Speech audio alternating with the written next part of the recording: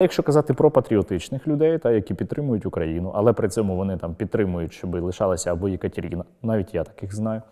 Або Висоцький, чіпайте Путіна. або хтось а, Пушкіна. Пушкіна, Пушкіна, Пушкіна, та, Пушкіна, та. не можна чіпати пам'ятник російському фашисту, бо він же ж був. Він же ж це же Пушкін, господи.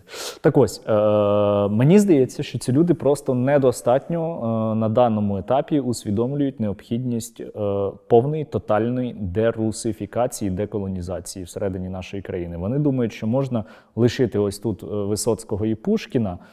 А там можна далі бити росіян на фронті. Але це абсолютно нерозривно пов'язані речі, тому що там, де з'являються російські символи, там рано чи пізно буде намагатись стати чобіт російського окупанта, бо він буде вважати, що ця земля його.